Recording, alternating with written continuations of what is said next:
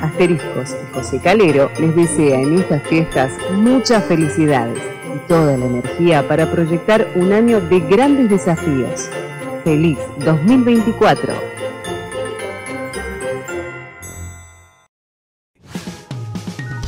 Asteriscos. Información clave a mitad de semana.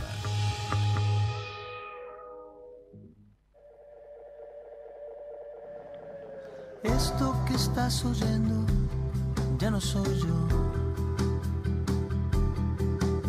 Es el eco del eco del eco de un sentimiento. Su luz alumbrando desde otro tiempo. Una hoja lejana que lleva. ¿Qué tal? ¿Cómo les va? Otro miércoles para compartir toda la información política y económica con nuestros asteriscos en Ecomedios 1220, como siempre. Último programa del año, estamos llegando eh, a fines del 2023. Y bueno, eh, a un ritmo totalmente distinto tal vez a los de los años anteriores, ¿no? Me parece que fuera noviembre, octubre o, pleno, pleno junio, julio, cuando se discutía cómo iban a venir las elecciones, porque el 10 de diciembre asumió Javier Milei, el libertario que nadie vio venir. Y ahora está haciendo que todo el mundo trabaje, parece. Los empresarios mandando mensajes desde los country, desde los barrios cerrados, algunos desde el Uruguay, otros desde Miami, otros en Europa, pero todos aferrados a sus celulares, quieren tener el minuto a minuto de lo que está ocurriendo en la Argentina. Hoy fue un día casi de locos para quienes toman decisiones, ni hablar, por supuesto, para los que todos los días tienen que salir a trabajar, ¿no? O a, juntar cartones, o directamente a mendigar, que lamentablemente en la Argentina son muchísimos. Cuatro de cada diez, cinco de cada diez, dicen algunos que son pobres, tres de cada diez, bueno, igual es un número inmenso. Pero algunos empresarios se están quejando, dicen que mi ley los está haciendo trabajar mucho, que no los dejan descansar con sus familias. Porque claro, el hombre te mete un proyecto tras otro y los que más complicado la tienen son muchos diputados y senadores que claro, en el 2023 se acostumbraron a no trabajar, sesionaron muy poquito, eh, aprobaron ahí creo que menos de 10 leyes, eh, y bueno, trabajaron muy poquito, eso sí, cobraron y también cobraron todos, todos, todos los, los muchísimos empleados que tienen. ¿eh? Así que ahora, bueno, se viene un verano de trabajo, Mileiro se está volviendo loco, dicen algunos, otros están contentos, dice que volvió, volvió el Congreso a, tallar en la discusión, que ya no dependen del, dedo de, Sergio Massa, de, la mano en alto de Cristina Kirchner, que ahora hay más debate. Bueno, algunos se sienten más cómodos con esto. Los que no se sienten cómodos, parece, son, bueno, lo, los históricos dirigentes sindicales que hace 30 años, 40 en algunos casos, están al frente de sus sindicatos, los Moyano. Iba a decir los Cavalieri, pero no, no, no voy a incluir a Cavalieri en esto porque les voy a contar algo ahora en un minutito nomás de qué pasa con Cavalieri. Un histórico también, 86 pirulos tiene el jefe del, del sindicato más grande de la Argentina, casi 2 millones de afiliados. Bueno, hicieron un, bueno, los camioneros, los moyanos, los que hacen boicot, los que te paralizan una planta, los que te funden una, una empresa. Bueno, hicieron una marcha ahí a tribunales. Se juntaron, se juntaron, bueno, los, bancarios que ganan un salario altísimo, los bancarios ahí de, del hombre que es hiperkirchnerista, el, el hombre que los, que los conduce. Estuvieron también este, los de ATE, un gremio de ATE, que hacían la vista gorda cuando había ñoquis por todos lados en el Estado.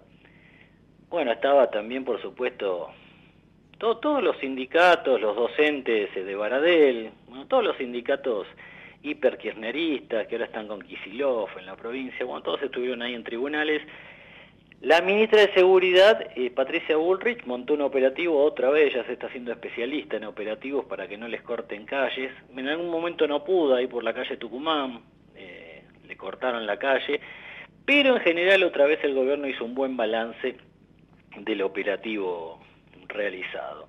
Y hay legisladores que están un poco ofendidos, anoche lo escuchaba Miguel Pichetto, otro hora hiperkirchnerista, después hizo amigo de Macri a tal punto que fue su candidato a vice.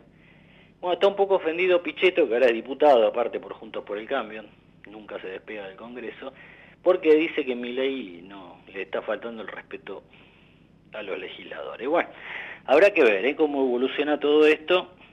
Indudablemente las cosas están cambiando, tal vez sea para mal, no sé, pero bueno, es interesante ver eh, que la gente se tiene que poner a laburar, sobre todo los políticos, no están acostumbrados a laburar en la Argentina, la mayoría, sí a cobrar, ¿eh? a cobrar el sueldo, los viajes, la runfla de 20 o 30 personas que trabajan alrededor de ellos, abasteciéndolos, organizándole los actos políticos.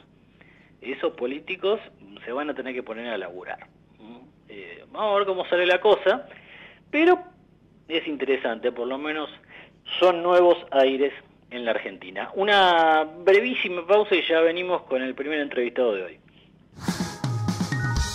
Asteriscos. Información clave para decidir.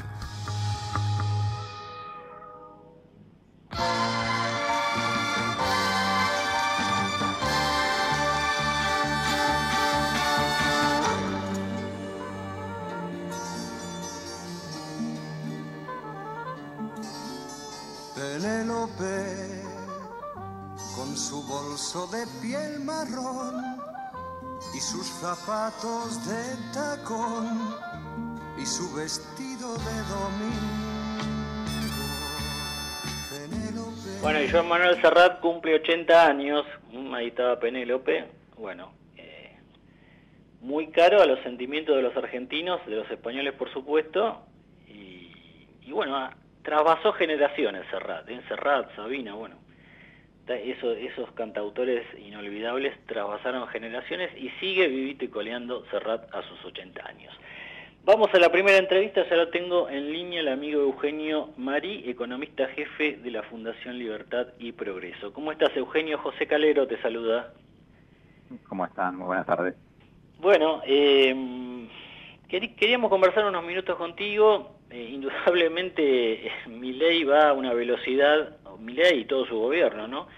Va a una velocidad este, que, bueno, puede ir rumbo a colisión, creo que Juan Carlos de Pablo algo dijo de eso, que tendría que desacelerar un poco, porque te pisa un proyecto con otro y, bueno, termina a veces este, mezclándose todo y quedando poco claro pero eh, es un estilo político por ahí al que no, no, estamos, no estábamos acostumbrados desde, no sé, de los tiempos de Néstor Kirchner. No sé, no sé cómo lo estás viendo vos desde la esfera económica, porque casi todo lo que está presentando tiene que ver con lo económico, pero no da respiro este hombre. Sí, efectivamente. A ver, las medidas que se están presentando, te diría 80% tienen que ver con temas económicos y eso no es casualidad, sí, a ver, la realidad es que Argentina está en una situación, en términos económicos, realmente crítica, ¿sí? y que si las medidas se demoran ¿sí? o se aspira por soluciones, digamos, parches, eh, la realidad es que hay un riesgo muy grande de que el país vaya a una hiperinflación, con lo cual no sorprende demasiado que las medidas sean económicas, Tal vez sí sorprende el grado de ambición que hay en algunas medidas que se pretende, por, ejemplo, el grado de ajuste fiscal, ¿sí? o la magnitud que ha tenido el DNU y lo que es ahora la ley que se presentó hoy, y realmente son proyectos que, en términos de la historia económica argentina y de la historia, diría, política argentina, son realmente muy novedosos, ambiciosos, como que no no sé o cuesta encontrar eh, medidas similares en nuestra historia, ¿no? Sí. Entonces, es, parte de esta nueva, como bien vos decías, una nueva forma de hacer política que, bueno, veremos. Ahora, Eugenio, yo, yo, yo en la apertura mencionaba a Armando Cavalieri, justamente, bueno, un uno de los gordos, de los gremios gordos, se sabe cinco o seis gremios gordos, porque son los que más afiliados tienen, así les pusieron, no porque sean panzones, muchos no lo son. Eh, Armando Cavalieri tiene 86 años y hoy casi en paralelo al acto que hace la CGT, que van a, va, la CGT, no sé, un, sector de la CGT diría, que van a tribunales, bueno, con, todo el ultrakirchnerismo, la izquierda y demás, casi en paralelo el hombre, eh, Cavalieri, se va y se reúne con la ministra de, Capital Humano, con Sandra Petovelo, y con el secretario de Trabajo, y cuando termina la reunión, eh, incluso te cuento que en este momento están reunidos en el gremio de Cavalieri viendo cómo terminar de definir esta estrategia, pero cuando termina esta reunión comunican que Cavalieri, que es justamente uno de los más altos directivos de la CGT, termina adhiriendo a este fondo de cese, como lo llama mi ley, eh, algo parecido al fondo de, despido que tienen los constructores, eh, termina adhiriendo también con los empleados de comercio, o al menos es lo que informó oficialmente Petovelo, ¿no? Dijo que Cavalieri adhiere. Algo está pasando, ¿no? Eh, también en materia económica, eh, Cavalieri tal vez le está dando una señal a los empresarios del comercio a decir, bueno, vamos todos juntos a ver si podemos evitar los despidos, pero a su vez estamos, estamos dispuestos a flexibilizar un poco la relación laboral también, ¿no? Bueno, es que vos bien decías, los gordos, se les dice los gordos por la cantidad de afiliados. Los afiliados son trabajadores. Ahora, si nosotros vemos el modelo económico argentino de los últimos 15 años, no es un modelo económico que generó cada vez más trabajo registrado, buenos salarios, sino que al contrario, generó trabajo en negro, cada vez peores salarios, entonces evidentemente hay sectores ¿sí? que lo que eran los gordos ahora ya cada vez son más flaquitos. Sí, Entonces, eso... Es una pena tener que decirlo y, reírse un poco. En realidad no es chiste, ¿no, Eugenio? Es para, llorar más que para reírse. No, absolutamente. A estamos tratando de hacer ameno en esta charla, pero es, la realidad argentina. Si Cuando uno va a empleados de comercio, cuando uno va a rubro como gastronómicos, ¿sí? la realidad es que ha proliferado el trabajo en negro, trabajo en gris, y con lo cual hay muchos sindicatos que han tenido su auge hace algunos años que realmente están empezando a sentir, digamos, que este modelo económico no cierra, los empresarios ni hablar, y entonces ahí empiezan a aparecer estas expresiones de decir, bueno, tratemos de buscarle la vuelta un poquito entre todos, porque esto ya se cierra cada vez a menos gente. Sí, me resultó muy interesante lo que pasó. No sé cómo va a terminar, ya te digo el día, porque eh, ahora mismo están reunidos en comercio. Ahí Cavalieri, que te insisto, sabemos, tiene 86 años, bueno, el hombre se fotografía, parece vital como, pero bueno, también tiene sus limitaciones. Tiene una mesa de, dirigentes que, afines, que bueno, hacen, diría yo, el trabajo duro, pero por ahora hay que explicárselo a todas las filiales y demás esto, ¿no? Porque muchos van a decir, bueno, nos está traicionando Cavalieri, hay que, hay que armar toda la rosca gremial, imagínate para una federación que tiene casi dos millones de, afiliados, es, enorme. Pero eh, es como que, es una señal de que alguna cosa, por lo menos en algún sector eh, sindical, está cambiando. Habrá que ver también si desde el empresariado, en este caso tendríamos a, a la Cámara de Comercio, por un lado, eh, a la CAME por el otro, que también estamos bastante activos. Eh, hay que ver, bueno, me parece, Cavalieri algo dijo de eso, por lo menos yo, yo estuve hablando hoy con gente del gremio, y dijo, bueno, ahora nos tenemos que sentar la semana que viene con los patrones, este y ver, bueno, cómo lo implementamos esto. Pero nos parece que eh, estamos abiertos estamos abiertos al diálogo. Indudablemente hay como un, no sé si un cambio de época, pero por lo menos el, gobierno está empujando para, bueno, ya que fracasamos tanto hasta ahora, tenemos cuarenta y pico por ciento de pobres, casi no se generó empleo eh, en la última década, en la última década, Eugenio, salvo el empleo público. Exactamente, a ver, cuando uno ve el empleo de los asalariados privados en blanco, estamos en el mismo nivel que en el año 2011. Claro. Entonces, es, es realmente muy preocupante y agrego a lo, al análisis que nosotros estamos haciendo, los sindicatos, las federaciones, las patronales y demás, al final del día tienen que rendirle cuentas a alguien que es todavía más importante, que es los trabajadores. Sí. ¿sí? Y la realidad es que ahí es donde está el gran tema. ¿sí? Porque el modelo económico que hasta ahora estuvo vigente en Argentina, a los que más perjudicó fue a los trabajadores. Sí. ¿sí? Vos eras un trabajador que quería ingresar al mercado laboral, ah, pues te apareció una oferta en gris, una oferta en negro, salarios en dólares totalmente destruidos, 300 dólares está el promedio, Ujú. con lo cual estamos hablando 300 dólares es el promedio, pero estamos hablando de millones de argentinos que viven con salarios de 100 mil, 150 mil pesos, Sí, que son sí, 100, sí. 150 dólares. Bueno, en, coma- en Entonces- comercio, si bien han firmado una paritaria, eh, que ahora en enero el, el básico, bruto, ¿no? Después hay que hacer todo el descuento, va a ser de cercano a los 400 mil pesos.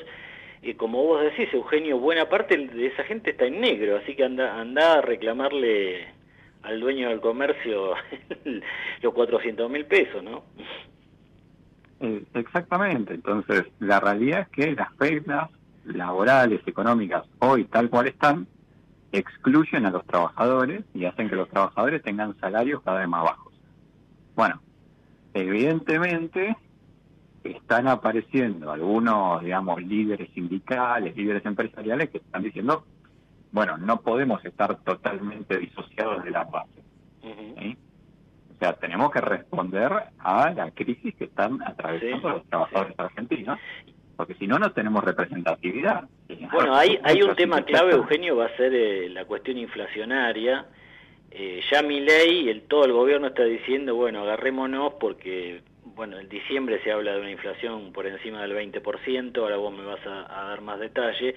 Enero, febrero y marzo, mm, no sé si 20% mensual, pero se está hablando en el trimestre de una inflación que podría acumular un 50, 50 y pico por ciento. Eh, es un escenario muy difícil. No sé, no sé ahí en la Fundación Libertad y Progreso cómo, cómo lo están viendo ustedes el tema costo de vida en los próximos meses.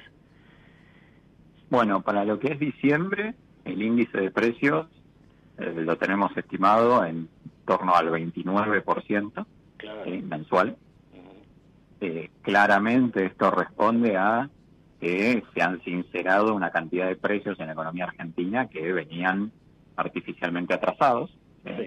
Combustibles, el tipo de cambio, sí, se eliminaron las diferentes restricciones de precios que estaban en precios justos ¿sí? y compañía, que obviamente son precios que venían atrasados y ahora bueno, hicieron rápidamente el ajuste de todo lo que no habían hecho los meses anteriores. ¿no? Sí. Y enero, Eh, febrero ahora. marzo, ¿cómo lo ven? Y ese es el punto, te diría, importante, ¿sí? porque si bien diciembre lo estamos viendo en prácticamente 30% mensual, Sí. ¿qué, es- ¿qué es lo que ocurre? Esta suba del 30 tiene que ver con estos precios atrasados. ¿sí? Entonces, una vez que vos haces estas correcciones, ¿sí? hacia adelante se te empieza a aliviar un poco la mochila, ¿sí? porque esto que los economistas llamamos la inflación reprimida, se te em- empieza a bajar. Esto es una mochila a la cual le vas sacando piedra. ¿viste? Entonces, tenías la mochila con la piedra del combustible atrasado. Y te sacaste esa piedra de encima. Sí. Y tenías la piedra de el tipo de cambio atrasado. Te sacaste esa piedra de encima. Entonces, podés avanzar cada vez un poquito más ligero. Y eso es un poquito lo que estamos viendo. ¿sí? Que, salvo que haya una crisis de confianza, ¿sí? para enero y febrero lo más probable es que veamos que el índice de precios sea más bajo que el de diciembre. Probablemente en enero veamos entre un 15 y un 20, ¿sí? en febrero de vuelta veamos alrededor del 15, y luego a partir de ahí ya empezamos a sentir marzo, abril, mayo, un índice de precios que empieza a bajar aún más profundamente. Y, insisto, si el programa económico va- sale tal cual los objetivos que puso el gobierno, que es de equilibrio fiscal, y de que el Banco Central deje de emitir para financiar al, al Tesoro, es probable que lleguemos a finales de 2024 con una inflación que esté en torno al 3% mensual. Sí. Eso, eso nos daría, y ya, ya, ya con esto te dejo, Eugenio, eh, si, si más o menos este panorama se cumple, por supuesto, con la salvedad del caso, porque estamos muy lejos, muy, muy lejos.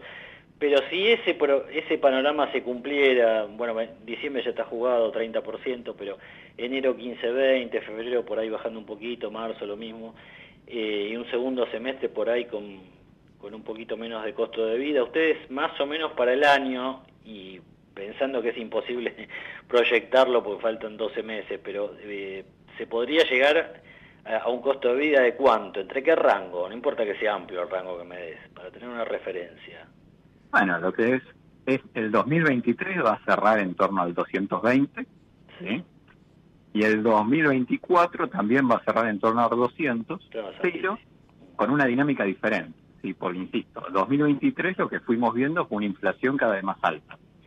2024 lo que probablemente veamos, insisto, si no hay una crisis de confianza, si el programa sale como se está anunciando, lo que vamos a ver es una inflación que arranca muy alta, pero después es cada vez más baja. Y con lo cual son números que en el año son parecidos, cuando ves el año completo, pero la dinámica que está detrás es totalmente diferente. Claro, te, deja para el 2025, algo dijo ley de esto también, o, Luis Caputo, el ministro de, Economía, eh, te deja recién para el 2025 una inflación, no sé de cuánto, pero que ya no estaría en el 200%. Exactamente, y en 2025 se abriría una ventana para que Argentina converja a tener una inflación de un dígito. Ahora, ese es nuestro horizonte positivo. Nosotros tenemos que entender. Perdóname, ¿de un dígito menor al 10%? En 2025, si las cosas se hacen con, correctamente, podemos estar pensando para la segunda mitad de 2025 que Argentina empiece a transitar inflaciones de un dígito. Bueno. Pero sería un impacto alto. Igual, aclaremos, falta mucho y la gente puede estar diciendo también, bueno, pero no sé si me voy a poder aguantar esto, pero da la impresión de que no, no hay margen para otra cosa, ¿no? En esta dinámica. Bueno, es que ese es el tema. A ver, los motores de la inflación son dos. Y la inflación es la pérdida de valor de nuestra moneda. Y la pérdida de valor de la moneda va por el lado de los oferta, que el Banco Central está volcando, imprimiendo pesos, y por el lado de la demanda, que es si los argentinos queremos o no los pesos. El gobierno lo que prometió es que va a ajustar las cuentas fiscales para no imprimir más billetes para financiar el gasto. Entonces, el gobierno lo que nos dice es, el lado de la oferta de pesos, quédense tranquilos, lo soluciono. Ahora, queda el lado de la demanda de pesos, que es si los argentinos tenemos confianza en que el programa va a funcionar. Y ahí es donde aparecen grandes riesgos. Obviamente es ahí donde de repente puede aparecer una corrida contra el peso, donde pueden aparecer diferentes cimbronazos que hagan que todo este escenario positivo, y que es lo que más queremos, digamos, es la salida más virtuosa, bueno, empieza a crujir. Eugenio, muchísimas gracias y te deseamos buen año. Por favor, muchas gracias a ustedes, gran año. Ahí estaba el economista Eugenio Marí. Eh, economista jefe de la Fundación Libertad y Progreso, una fundación liberal, eh, de clara orientación liberal, este, bueno, por supuesto, de alguna manera, eh, digamos, apostando, por decirlo de alguna manera, que... Toda la información en un solo signo. Asteriscos con José Calero.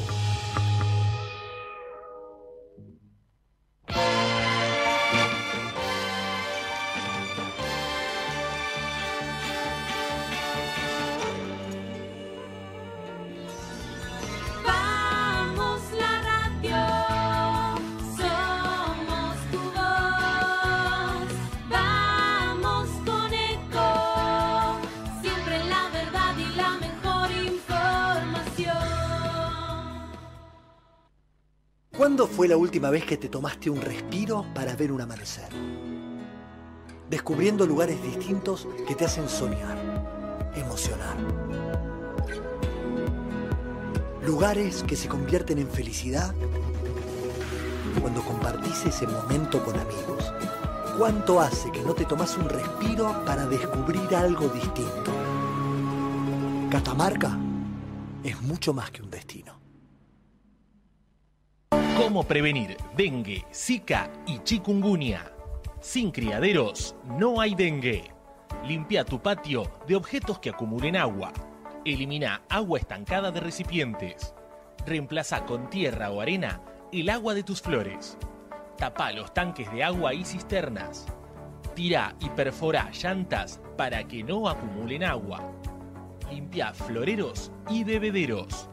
Recordá, sin criaderos no hay dengue. Intendencia Menéndez. Informate en ecomedios.com. Seguinos en Twitter, arroba ecomedios 1220. Acompañan a José Calero en asteriscos. En cinco minutos con tu celu podés chequear tus redes, revisar los mails, mirar tres videos o abrir una cuenta digital con Credicop Móvil. La que necesites. Cuenta corriente bonificada por un año o caja de ahorros personal gratuita. Abrilas desde Credicop Móvil cuando quieras, las 24 horas. Es simple, rápido y sin trámites previos. Bajate la app Credicop Móvil, opera con tus cuentas y conoce un banco distinto. Banco Credicop Cooperativo. La banca solidaria. Aplicable la cartera comercial exclusivo para aperturas a través de Crédito Móvil entre el 25 de julio de 2023 y el 31 de enero de 2024. Más información en www.bancocredico.com. Grupo Petersen, desde 1920, construyendo el país. Minutos pasaron eh, de las 20, eh, los seguimos acompañando aquí en asteriscos. Bueno, hay muchos temas, por supuesto, para eh, analizar. Eh, yo contaba lo de la CGT, lo conversábamos recién con Eugenio Marí, eh, de la Fundación Libertad y Progreso. Bueno, el modelo de sindicalistas ricos con trabajadores pobres, ¿no? Es el modelo que se fue construyendo a lo largo de estos 40 años de democracia sin ánimo de cuestionar a los sindicalistas, ¿no? que también en la etapa final del proceso, los moyanos incluidos, eh, la pelearon eh, eh, y, bueno, estuvieron ahí también en la primera línea de, combate. Pero da la impresión de que a lo largo de las décadas se han ido, han ido errando este rumbo, una altísima conflictividad y bueno, derivamos en esto y, que también empieza a ponerse en tela de juicio el rol de estos gremialistas, ¿no? 40 años al frente del, sindicato, en el caso de Cavalieri, por ejemplo, los moyanos, no sé, 30 y pico. No habrá que cambiar, muchachos, qué sé yo, renovar un poco, este, pongan aunque sea uno de ustedes, pero con otro nombre. Si no, es nepotismo, parece. Hugo Moyano, Pablo Moyano, el otro que maneja también, el otro Moyanito que maneja los peajes, bueno, qué sé yo. Lo tengo en línea, creo, porque estamos un poco complicados con los teléfonos, al amigo Roberto Starque. ¿Cómo estás, Bobby? Hola, ¿qué tal? ¿Cómo te va, José? Bien, bien, bien. Gracias por atendernos como siempre. Eh, estamos llegando a finales de fin de año. Nosotros seguimos, por supuesto, porque no, está el tema como para detenernos periodísticamente. Pero una línea quería tener tuya, Roberto, sobre eh, este entramado nuevo, porque de alguna manera yo decía al principio del programa, eh, mi ley te mete un proyecto tras otro, eh, los legisladores no saben bien para dónde arrancar, si criticar, si ponerse a leer, si ponerse a trabajar.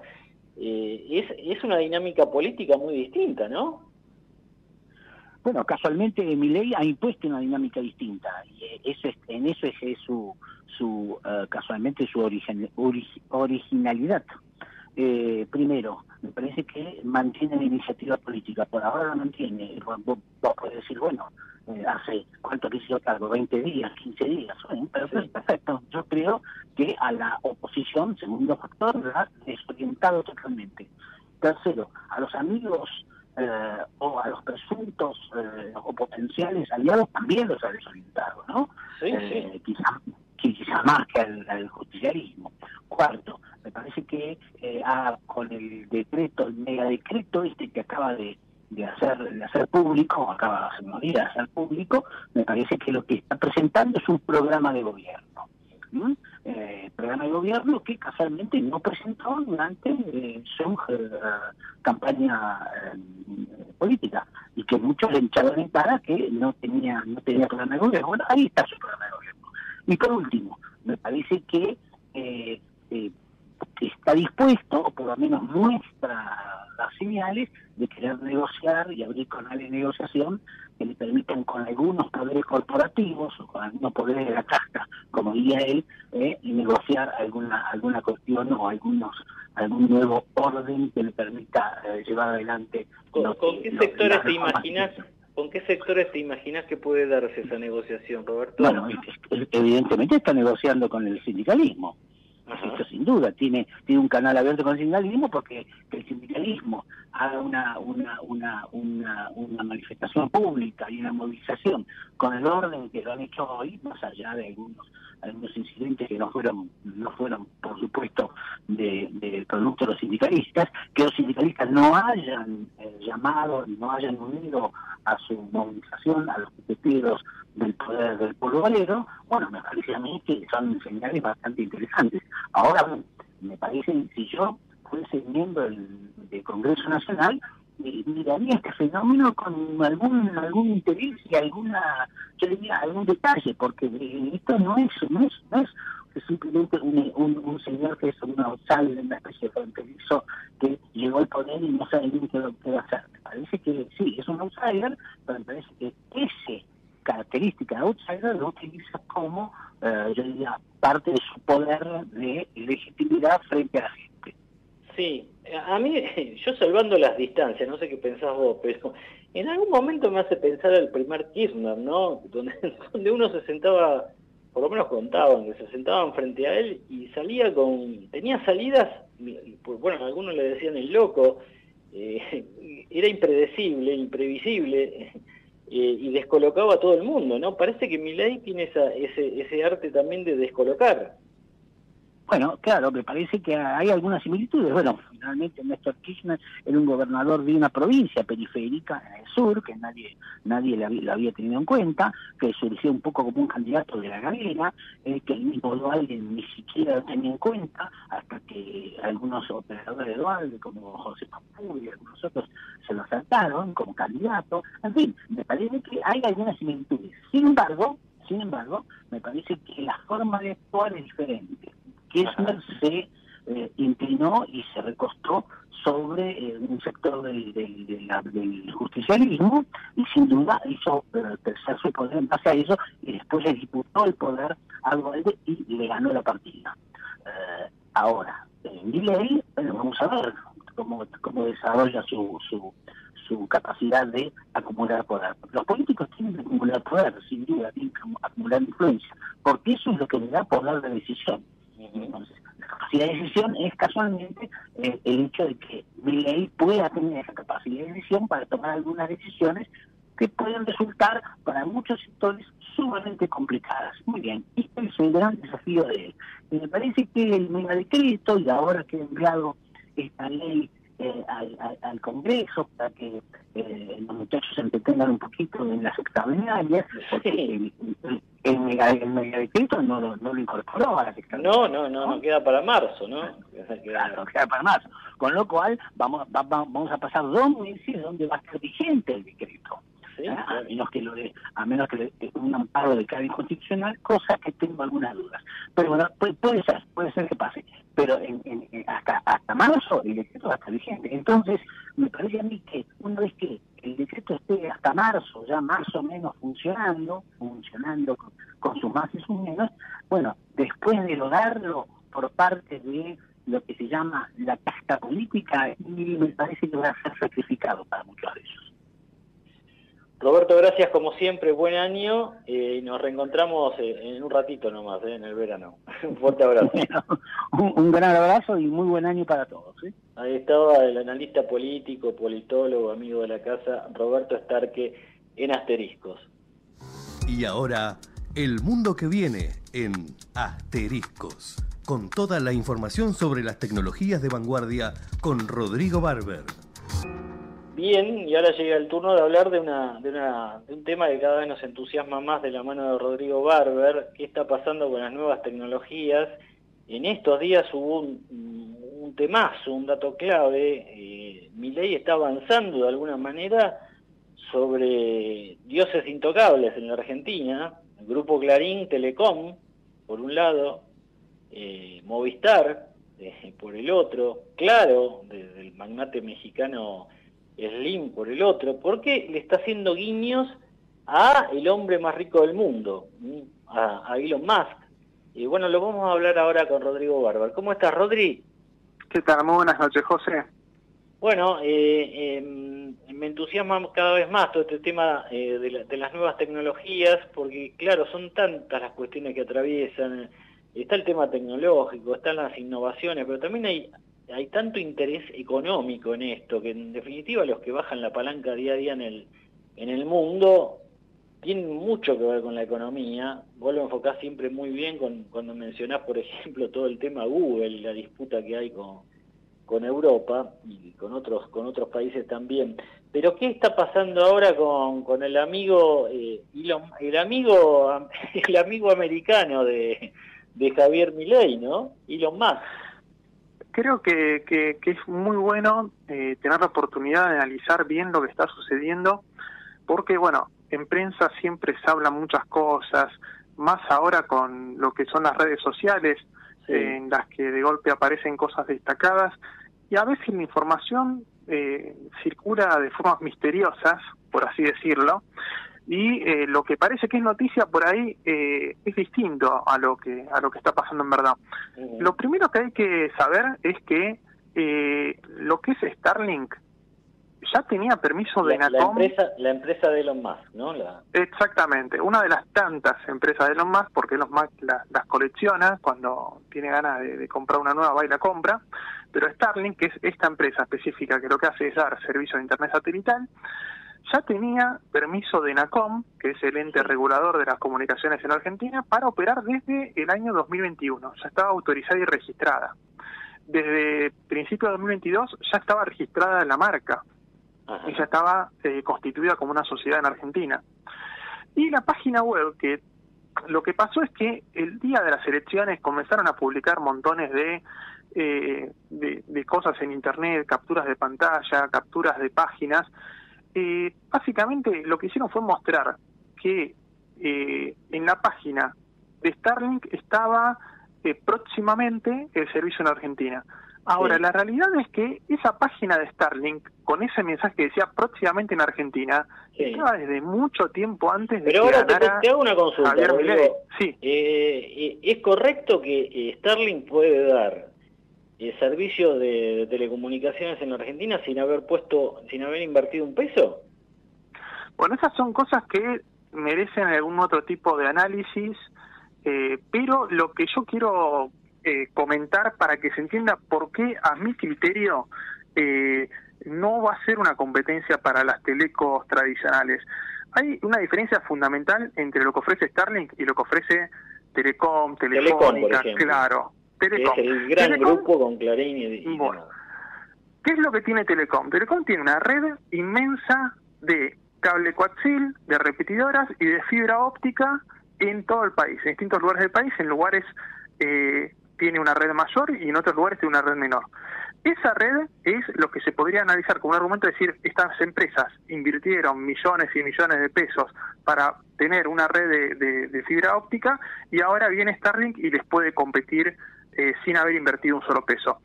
¿Qué es lo que pasa realmente? Eh, esa conexión que ofrece Telecom en tu casa o que ofrece cualquier otra empresa con fibra óptica, tienen capacidades de darte velocidades muy grandes. Estamos hablando de velocidades que te ofrecen comercialmente que son de 100, de 300 megas. Bueno, ahora Movistar está ofreciendo, está ofreciendo el, simétrico, ¿no? Del que vos siempre me hablás. Exactamente. Eh, no llega todavía a todos los barrios, te cuento que está complicado eso. Eh, Hay zonas de la capital donde no. No sé si porque no llegan porque no pueden, si no llegan porque Telecom no los deja. Eh, sí, una de las características destacadas de algunos servicios es que tienen el servicio simétrico, que eso significa que la velocidad en la que uno descarga es igual a la velocidad en la que uno sube contenidos. Bueno, ¿qué es lo que pasa? Eh, la conexión de Internet satelital de Elon Musk no puede competir de ninguna manera contra la fibra óptica o no, no puede alcanzar de ninguna manera esa velocidad de transmisión. No puede alcanzar esa velocidad y tampoco puede competir en precio. Entonces, la conexión que ofrece Elon Musk eh, con su servicio Starlink, que a futuro puede llegar a mejorar, pero ahora mismo está ofreciendo velocidades que son desde 25 megas hasta 200 en algunos casos. Y esas velocidades Pero son perdóname, variables. do- 200 megas. ¿Y el mejor de, de, este, Telecom cuánto es? 1000 megas. Claro, Y podría más. ofrecer más. Claro. Pero ¿cuál es la gran diferencia además? Que es infinitamente más barato. Porque para vos tener Starlink, tenés que primero pagar el equipamiento. Tenés que pagar 500 o 600 dólares según las circunstancias para que te den la antena y hacer la instalación. Que la tenés que hacer vos la instalación. Y segundo, tenés que pagar entre 90 a 120 eh, dólares mensuales. O sea, con la infraestructura que tienen todas las telecos argentinas, eh, Starlink no tiene para No competirles en lo que vendría a ser los centros urbanos y en cualquier lugar al que hayan llegado con fibra óptica o cableado. Es la crema del negocio, ¿Dónde? ¿no? Exactamente, es donde está la, en la gran cantidad de dinero. ¿Dónde es que Starlink va a poder competir? Y en verdad ahí estamos pensando que va a ser un beneficio para los consumidores en las zonas no urbanas, en el campo. Lugares donde ahora las telecos no les conviene y no intentan siquiera tirar cableado porque no van a ganar nada conectando un pueblito de 2.000 habitantes en el medio de la Pampa y que en este momento esa gente tiene conectividad básica. Están luchando, incluso eh, se dan muchos casos de eh, localidad- localidades, ciudades, que tienen cooperativas que para dar el servicio de Internet hace un esfuerzo enorme y tienen un servicio muy, muy lento. Entonces, en definitiva, se- eh, se queda tranquilo el grupo Clarín, el Telecom. Sin lugar a eh, dudas. eh, los españoles de Movistar y los mexicanos de, de Claro, Con que lo que- tranquilos. exactamente. por- Con lo que es la tecnología Starlink hoy, no hay competencia. Aparte de un tema más, eh, hablamos ya de cuáles son realmente los lugares a los cuales beneficiaría el servicio de Starlink y realmente va a ser un beneficio para esas localidades. Claro. Porque si uno vive en el medio de la nada, va a ser, va a permitir tener un servicio de internet aceptable. Hay otro factor más, en las zonas urbanas, vos no podés colocar en tu balcón una antena de Starlink No. tal como está desarrollada ahora. ¿Por qué? Porque tenés, no es como una antena de las televisiones satelitales que la colocas y te instalas y tiene un ángulo específico. No, por ubicación de los satélites. Exactamente. Y varios factores más, vos no la podés colocar en un balcón a la antena de Starlink como está desarrollada hoy. Y probablemente a futuro tampoco, porque requiere eh, unos niveles de, de interferencia que, que sean muy bajos. O sea, cualquier interferencia, como la que tiene una ciudad que a vos te afecta un edificio, te afecta eh, montones de factores, afectaría muy directamente a la velocidad de Starlink.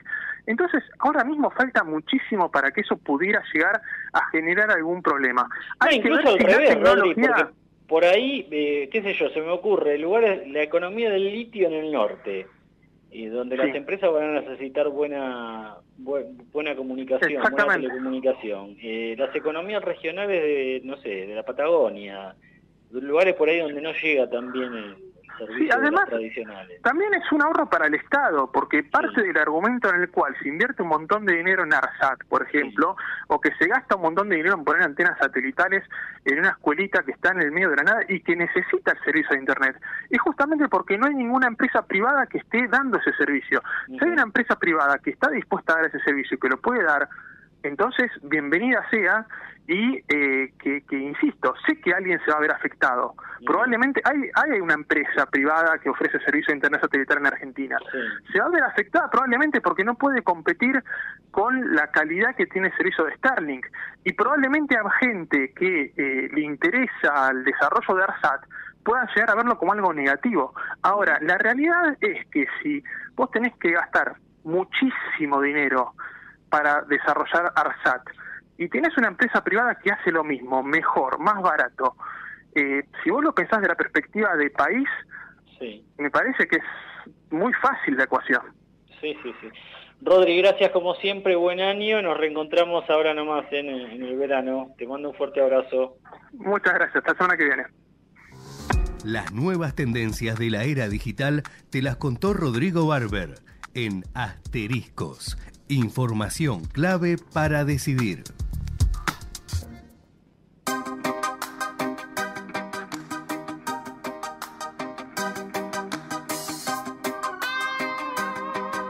Bien, estamos llegando al final del año, ¿eh? y muy movido, como decíamos en el arranque. Nos interesa ahora tener un poco la perspectiva del inversor, qué está pasando en el mundo de las finanzas, de, de- de las inversiones, de la, de la economía de los mercados. La tenemos en línea a Paula Gándara, que es CEO de AdCap Asset Management, eh, acá en Asterisco. ¿Cómo estás, Paula? Hola, ¿qué tal? Buenas noches.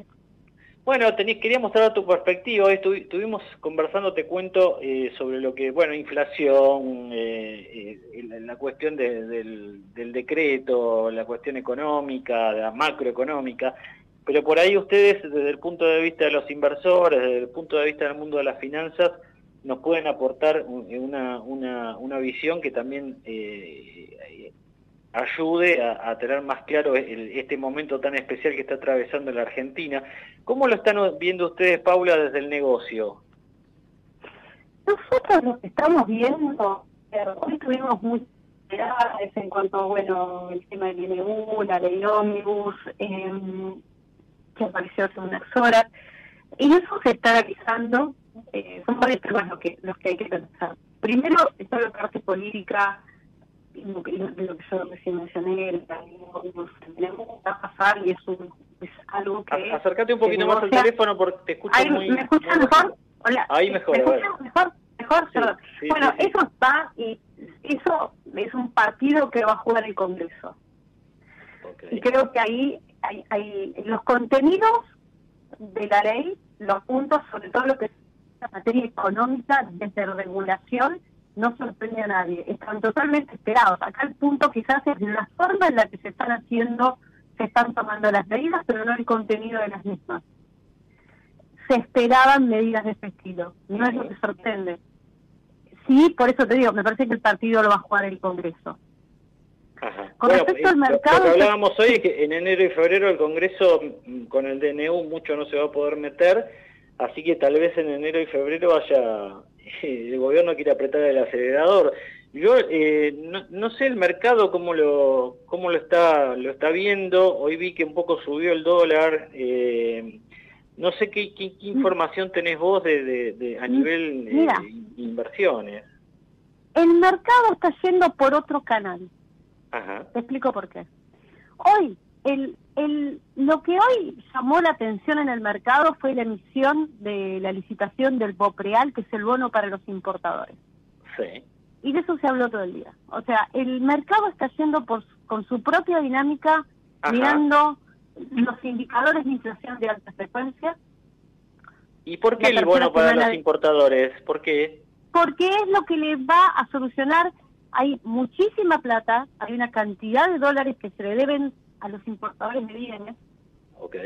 que no hay ¿Más de para pagar 50 mil millones de dólares? o- Exactamente, es- esa es la suma que, yo también tengo- que tenemos en la cabeza, que sabemos que existen, y hay un tratamiento para el stock, que es la deuda, y para el flujo, lo nuevo. Para lo viejo aparece esta solución eh, en el cual queremos, estamos todos este, a la expectativa de ver Sí. cuánto se licitó, cuánto hay, cua- cuánto va a valer este bono en el mercado secundario, qué profundidad va a tener. Estamos hablando de cientos de millones de dólares, que tal vez. Sí, sí, sí, sí. Y si es interesante para los importadores, acá el punto fundamental es a qué precio va a salir, qué profundidad de mercado tiene, ¿Y eso cuándo se va a saber? Y en lo, mirá, va a haber muchas licitaciones. Hoy, hoy soy la primera. Entonces hay que ver, todavía creo que va a haber mucha, bastantes oportunidades para entender qué es lo que van a hacer los importadores, si funcionó o no. Hoy es Pero este es el gran tema para, para, el, para el mercado, digamos. El mercado hoy estuvo, te comento más, en los indicadores de inflación de alta frecuencia, la Sí. tercera semana de diciembre viajaba casi al 11%, la cuarta semana de diciembre está por encima de eso, el 10% está por encima de eso, lo que llevaría a diciembre un número, no sé, yo escucho entre 25 y 30. Bueno, recién hablábamos con Eugenio Marí de la Fundación Libertad y Progreso, ya que yo tomé nota de todo, y me dice diciembre 30% de inflación. Y sí, más o menos, ese es un, sí, sí, sí. ¿Coincide Yo, lo que, vos, yo lo que vos percibís ahí en el Sí, mercado? Hay, eh, sí, más o menos es lo que se está esperando, entre 25 y 30. Entonces, eso va a marcar mucho eh, la cancha para el mercado. Es lo que hoy el mercado está viendo. ¿Qué también está viendo? Eh, ¿Cuánto compra el Banco Central de Reserva? Que esté consejo positivo, está con reservas netas muy negativas, que se espera que toda esta bonanza del mercado cambiario no deje niveles de reservas netas un poco un poco mejor, ¿no? Que bueno, subieron eh, subieron 2.500 millones de dólares desde la devaluación. y pudo, va, no subieron, perdón, pudo, es lo que pudo comprar el Banco Central, que pudo comprar. No, podía comprar nada. Eh, este, yo no sé la perspectiva. Ahí se habló también una cosa que después la desmintió Caputo. Se habló de que en enero el gobierno podría conseguir 15 mil millones de dólares del Fondo Monetario gracias a, que va a interceder el gobierno de los Estados Unidos, viste que estuvo un alto funcionario acá en la Argentina estos días. Eh, Caputo dijo que no hay nada de eso, pero cuando el río suena, este, indudablemente una ayuda, una ayuda al fondo eh, sería muy positiva. ¿Cómo lo ves vos, Paula? Que tienen que armar de vuelta el programa con el fondo. El programa con el fondo está caído. Argentina no cumplió ni un solo punto, ni un solo objetivo. Para mí es impensable pensar que sin un objetivo cumplido, bastante que nos dan lo que se llama el waiver, ¿no? bueno, okay, ¿no? El ok, bueno, ok, no pudieron, bueno, no sé. Bueno, viste que era interesante, era interesante tener tener otra voz, ¿eh? Pues mira este tema de los importadores y el bono, eh, son eh, miles de millones de dólares eh, estas son las cuestiones de, peso que nos El mercado está mirando eso, claro, la inflación, cuánto A veces uno se va con otras variables y mirá lo que nos venís a contar vos. Paula, te mandamos un fuerte cariño, ya hablaremos en el verano de nuevo con más tiempo este, y te deseamos un buen año. Gracias. Bueno, muchas gracias por llamarme. Muchas felicidades para todos. muy bien. Ahí estaba, bueno, miren, ¿eh? Paula Gándara, CEO de AdCap Asset Management, qué tema que salió, lo vamos a seguir este, tratando en el verano, ¿no? El tema de los importadores, el bono que les quiere dar el gobierno, a ver qué pasa. Y ya lo tenemos en línea y para despedir el año, ¿quién más, quién mejor que el amigo Juan Andrés Paulenco? ¿Cómo andas, querido Juan? Muy buenas noches, José, buenas noches a toda la audiencia. Bueno, y Kisilov se, se despide con amenazas, ¿no? Despide el año a pura amenaza, dice que se quedó sin plata que no va a poder pagar eh, eh, cosas ahí. Juan, ¿qué está pasando? A ver, yo creo que como estrategia eh, aumentar los impuestos en el porcentaje que él tiene pensado hacer, me parece que está invitando más a que la gente no lo pague que lo pague. Ahora, si la estrategia pasa por si voy a aumentar un 300% para después cerrar en un 100, 120, que fue evidentemente lo de la inflación, bueno, lo, lo escuchamos, ¿no? Bueno, y aparte está diciendo Juan que, que, no va a poder pagar subsidios, que va a haber menos colectivos. Este, hay mucho ruido también en la provincia con el tema colectivo. Lo venimos padeciendo, José, lo que usamos este transporte público en el conurbano o en el AMBA, pues esto también hay que sumar a la ciudad autónoma de Buenos Aires, una barbaridad eh, antes era después de las 8 de la noche un colectivo por hora. Ahora estoy en condiciones de decirte, José, que 12 del mediodía estás viendo las paradas con muchísima gente, con el calor, la gente protestando porque el que pasaba cada 15 minutos, hoy está pasando cada 45 a una hora, se está viajando muy mal. Y convengamos que no estamos hablando de, no sé, este, allá en el la matanza profundo, estamos hablando de zona San Justo. San Justo, te digo Ramos Mejía, eh, hay momentos que, por ejemplo, te doy un caso, yo vivo cerca de Rivadavia y Avenida de Mayo, le decimos al público, pleno el centro de Ramos Mejía. En la franja 16 horas 18 para ir a la Universidad de La Matanza, que es un viaje no más, porque son 3 kilómetros, 5, a veces imposible poder conseguir un colectivo. Llegás primero caminando que esperando el colectivo. Una locura. Bueno, querido Juan, aprovecho, eh, ahí, vamos a hablar también de la temporada turística, lo dejamos para, la semana que viene, pero aprovecho y nos despedimos juntos.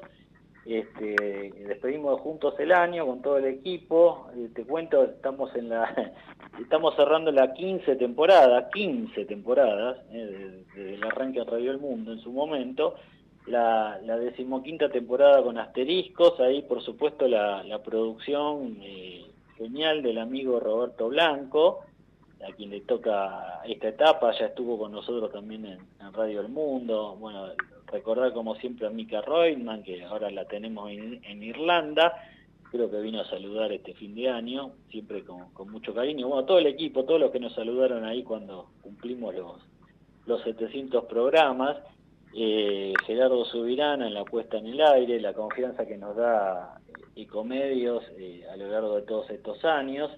Y agradecerte, querido Juan, por supuesto, ¿eh? este, que siempre nos traes la, mejor información de, la provincia y del rum rum político.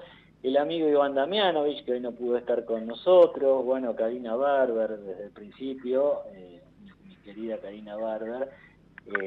bueno, Natacha Calero, que también también estado, Alejandra Calero, bueno, tanta, tanta gente, seguramente de alguien me estoy, me estoy olvidando, pero un, cariño muy grande para todos. Eh, Juan, y bueno, en, este despedida juntos te, te dejo una palabra de cierre. Primero, José, agradecerte enormemente de poder compartir eh, asterisco, poder compartir todos los proyectos en materia de radiofonía. Segundo, bueno, aprovechar también ¿eh? y desearles un próspero 2024 y bueno, en familia y hacer cautos. Exactamente, exactamente. Eh, bueno, ahí lo tuvimos hoy la columna también de Rodrigo Barber. Eh, bueno, me, llegan nombres de todo tipo, eh, todos con mucho cariño, gente que ha pasado y gente que ahora está llevando adelante asteriscos en la radio, el amigo Manuel Marbazo, dueño de Comedio 1220 que también nos pone nos pone el hombro, Buki de la Croa en la producción ahí a través de Vicom. Bueno, muchísima, muchísima gente. Nosotros seguimos, ¿eh? no es que nos estamos yendo, seguimos, por ahí descansamos un poco, una semanita si mi ley nos deja, y después tratamos de, continuar con esto. Así que le mandamos un, un gran cariño, Juan, que la pase lo, lo mejor posible, un cariño a la familia y, nos seguimos escuchando, hablando o, compartiendo algún almuerzo como hace pocas, pocas semanas. Nos reencontramos con ustedes como siempre el miércoles próximo no, epa. Pero bueno, muy pronto, tal vez en dos semanitas, estamos ahí conversando, así que en enero me parece que puede haber alguna, alguna novedad. Un gran cariño, buen año para todos, ojalá tengan el mejor 2024. Chau.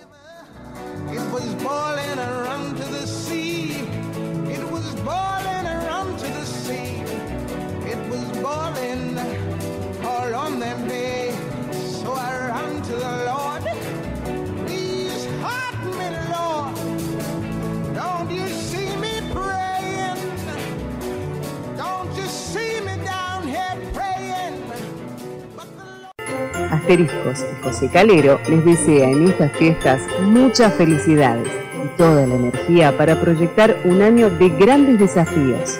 Feliz 2024